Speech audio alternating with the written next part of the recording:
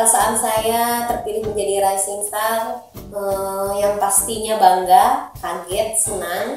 Hal ini eh, menjadi tantangan buat saya untuk lebih semangat lagi menjalani bisnis ini. Suka duka saya gabung di Haneda pastinya kebanyakan sukanya. Sukanya yaitu bisa eh, lebih banyak ketemu orang baru dan memperpanjang tali silaturahmi dengan teman lama.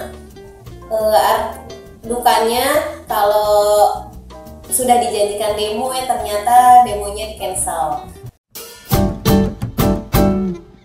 Arti Haneda menurut saya Haneda yaitu bisa membuat saya lebih baik lagi.